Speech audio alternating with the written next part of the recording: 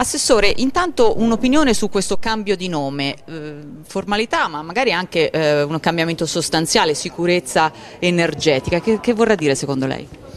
Ma ho visto che nelle deleghe ci sono molti richiami alla, all'autosufficienza, molti richiami al sovranismo e quindi probabilmente questo è uno dei temi che il governo ha voglia di affrontare con una forte connotazione politica. Eh,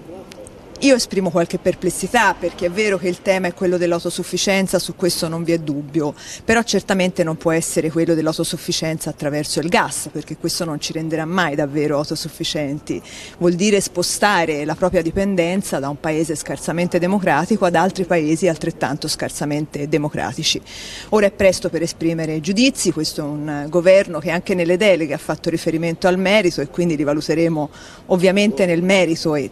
bisogna dargli tempo tempo per lavorare. È chiaro che eh, riferirsi soltanto all'autosufficienza senza rafforzare il concetto di transizione e quindi senza rafforzare la necessità di raggiungere l'autosufficienza con le fonti energetiche che abbiamo, che sono quelle rinnovabili, un po' ci preoccupa.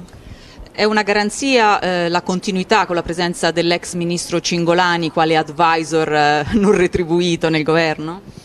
È un altro elemento che mi fa, mi fa, preoccupare perché Cingolani rimane per fare da consulente rispetto all'autonomia energetica riferita al gas, ha fatto un enorme lavoro da questo punto di vista, è un lavoro che deve giustamente avere continuità perché è quello che nell'immediato interessa al Paese per dare sollievo a famiglie e imprese in un inverno che sarà un inverno difficile, però certamente non ci rassicura rispetto alla prospettiva che è quella appunto dell'autosufficienza attraverso la transizione ecologica.